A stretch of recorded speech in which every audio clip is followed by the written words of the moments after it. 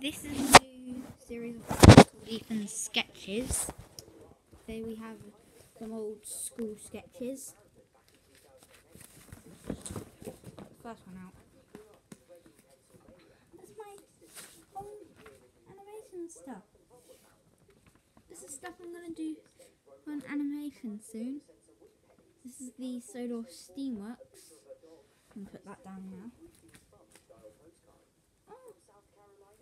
I just found a bunch of my animations that are coming soon. Keep your eyes peeled. Tidmouth Sheds, it's going to have five, four births and one extra one for Toby. I mean, not Toby. Emily. Here is the Wharf. And here's Colin. Right here. And 10 cents. I'm a pretty good drawer. It comes to paper. We have a lot here. Random dots. Porton salty. Oh hey, there's an actual drawing of an engine. Bowler. Mm.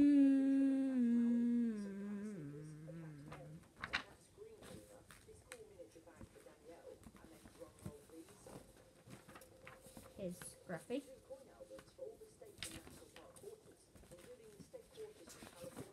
Yeah, I didn't really have good drawing on Emily.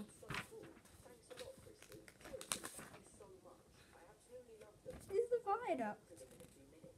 Uh, this is what is on the back.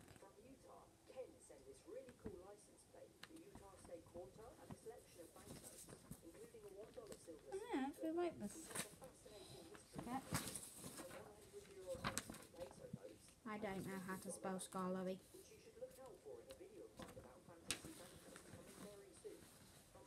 Ginty.